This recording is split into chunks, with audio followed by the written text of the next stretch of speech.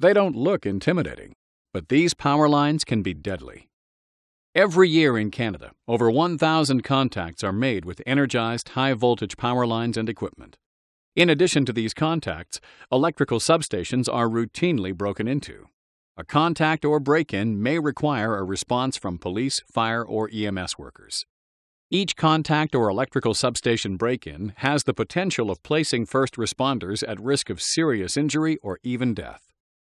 The Canadian Electricity Association, in conjunction with the Royal Canadian Mounted Police, has produced this DVD to give electrical safety guidance to those dedicated men and women who respond to incidents involving high voltage facilities. For more information or training, contact the electric utility in your area.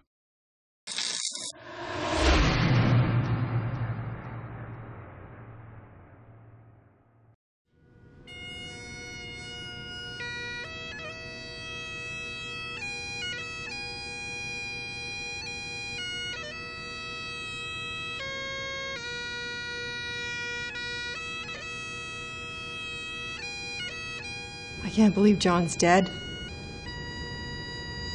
He was so young. He had such a beautiful family. How do you justify something like this? Just last week I was playing golf with him. And now he's gone. It's heartbreaking. Does anyone know exactly what happened? Yeah. John was first on scene to a car accident involving a downed power line. We responded a few minutes after and we found him laying on the ground.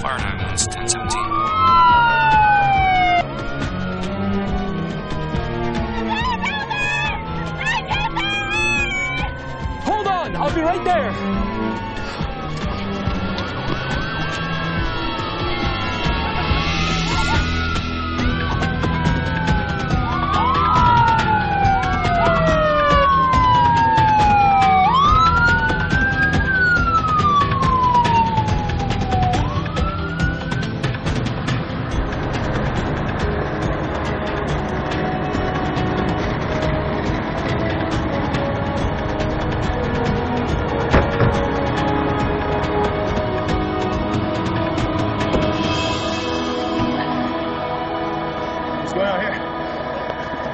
John! I don't! No! No, let me go, man! That's my partner! You can't John!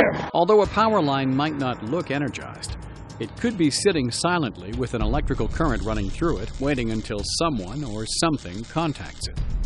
When you arrive to an emergency scene involving a downed power line, immediately perform a scene survey and assess the potential electrical hazards.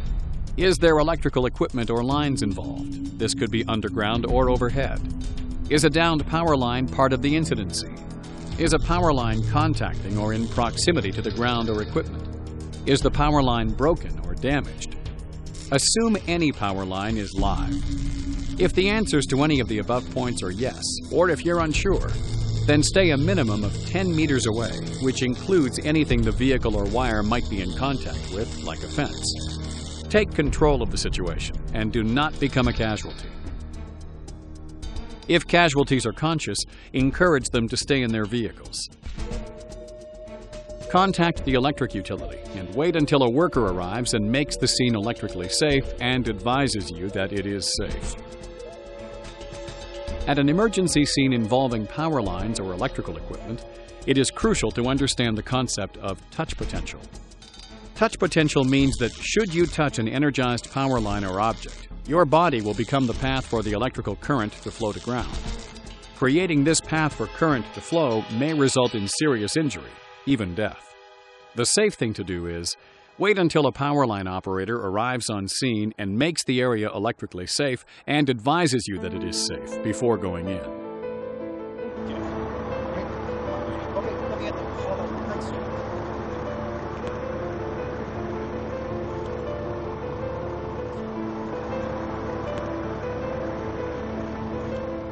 So he was electrocuted as soon as he touched the vehicle.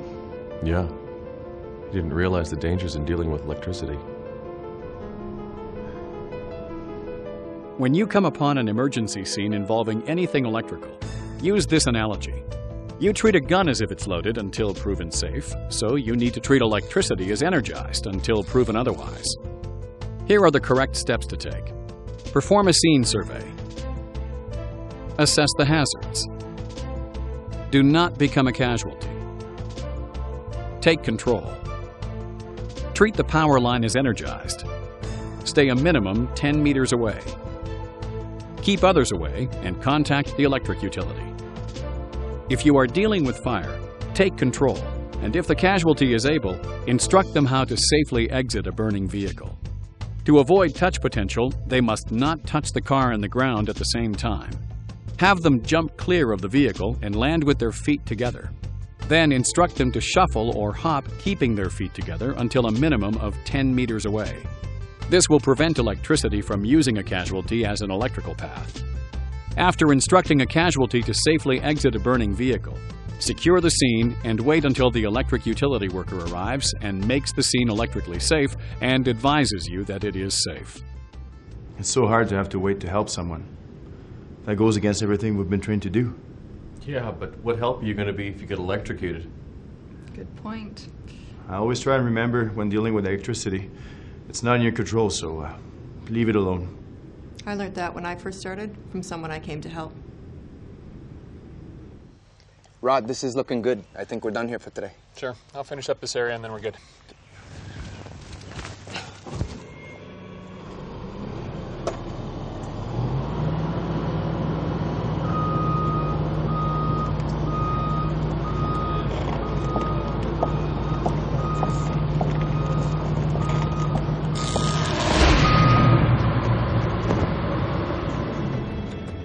Jim, are you okay? Jim, can you hear me?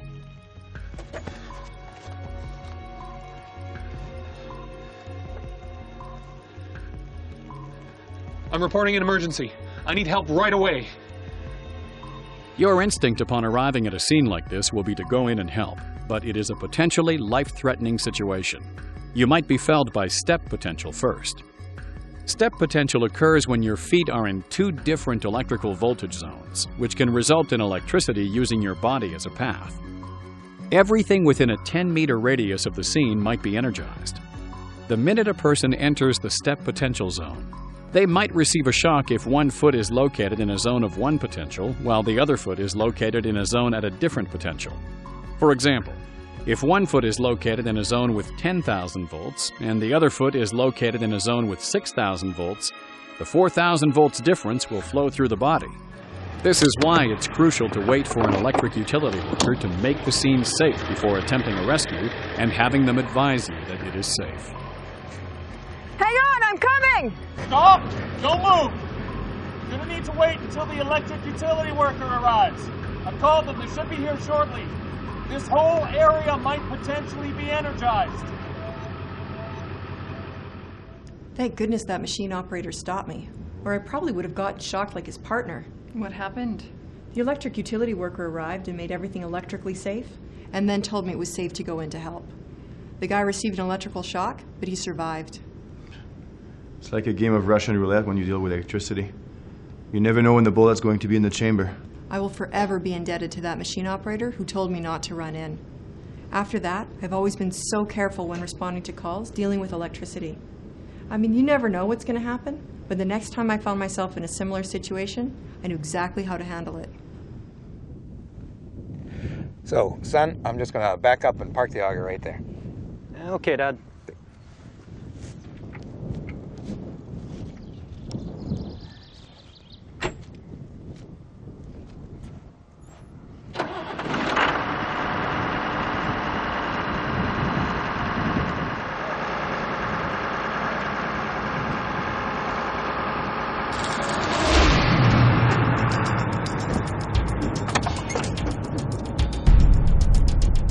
Jamie!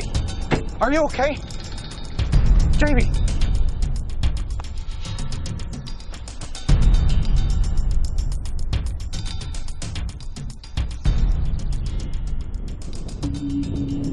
I need an ambulance right away.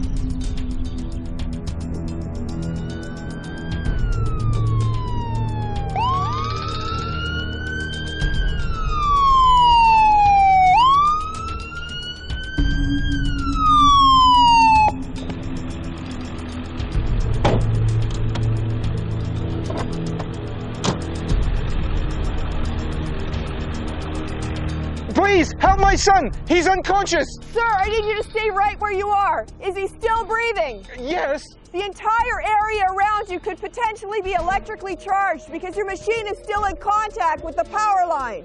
If you're called to an incident involving machinery still touching a power line, you must treat the power line as still energized. In this scenario, the farmer who jumped off the tractor was lucky that the power line had shut off when the original contact occurred, or he would have received a shock. The power could also be coming back on at any time, so you must treat the line as energized and wait for the electric utility worker to arrive. Follow these steps. Perform a scene survey. Assess the hazards. Do not become a casualty. Take control. Treat the power line as energized. Stay a minimum 10 meters away. Keep others away, and contact the electric utility. Remember, electricity is the invisible killer. As soon as the electric utility worker arrives and makes everything safe, then I can come in and help you. What happened? The farmer stayed by his son and didn't move. The electric utility worker arrived, made everything electrically safe, and then told me it was safe to go in. The son survived his shock, and the farmer didn't get electrocuted. There was certainly someone looking out for them that day. I have to fight every instinct to not run into a situation like that. Yeah, but look what the outcome can be. I had to call a substation break-in, and those can be deceiving because everything can look harmless, but uh, I found out it can be highly dangerous. Substation break ins are quite common for copper theft. This is a very hazardous area, so use extreme caution when responding. Yeah, I'm on scene right now. Okay, uh, can you tell me what you see? The lock has been cut and the bolt cutter is on the ground. The gate's open. Okay, we'll have an electric uh, utility worker on scene shortly. Just hang tight. 10 4. When responding to a call at a substation, do not under any circumstance enter until an electric utility worker has made it safe to do so. Perform a scene survey. Assess the hazards. Do not become a casualty. Take control. Stay a minimum 10 meters away.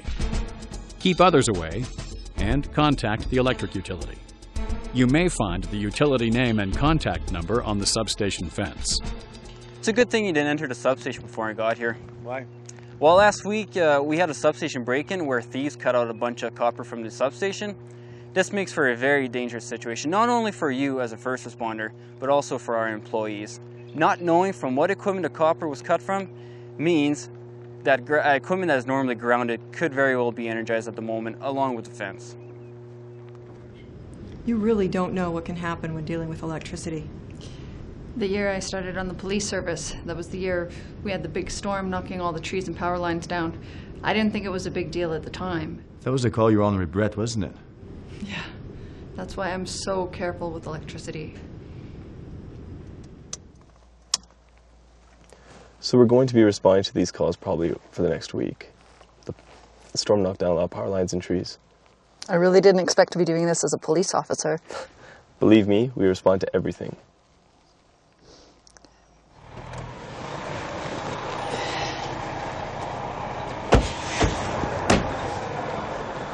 Got some down power lines and trees not and lying. stuff. Hey, is it safe to do that? Yeah, it's just a loose branch. No, buddy, wait! Brett! Brett! No! Run! Fallen trees leaning on power lines or scenes with downed power lines included in the debris create extremely hazardous situations. Every year across Canada, individuals receive serious injuries and even die from contacting trees that are touching an energized power line. There may be no indication at all that the power line is energized, but it may be silently waiting. Do not make assumptions. Perform a scene survey. Assess the hazards. Do not become a casualty. Take control. Treat all power lines as energized. Stay a minimum 10 meters away. keep others away, and contact the electric utility. Remember, anything the power line is touching could be energized. Pay particular attention to trees, fences, guardrails, train tracks, and irrigation systems. What happened to Brett? He died at the scene. Since then, I've taken any calls dealing with electricity very carefully because you just don't know what can happen. I responded to an emergency scene where a guy's backhoe started on fire after striking an underground power line. It scared the crap out of me because we're dealing with fire and electricity. Dave, did you check with First Call on where potential underground power lines could be on your property? I'm just digging a short trench. I didn't really see the point. I mean, what are the chances I'm going to hit something? I'm not even going that deep. Yeah, I guess you're right.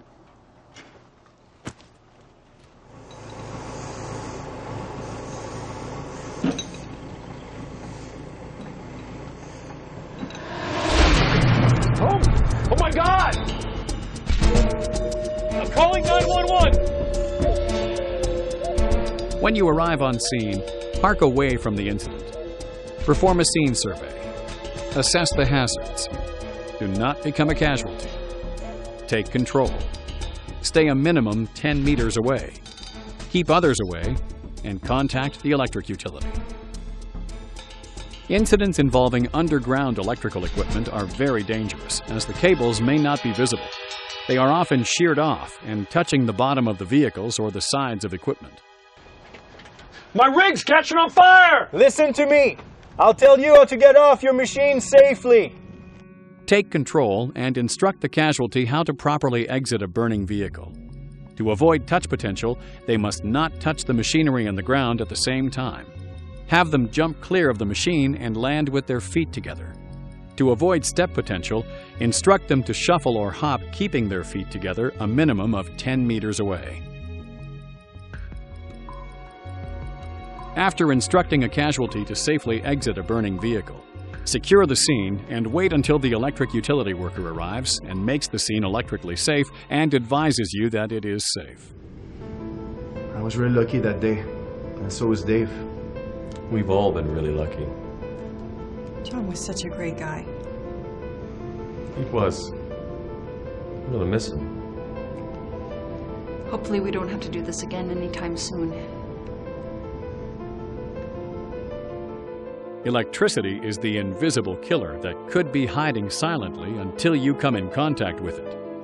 When responding to any emergency scene involving electricity, remember to perform these crucial steps. Perform a scene survey.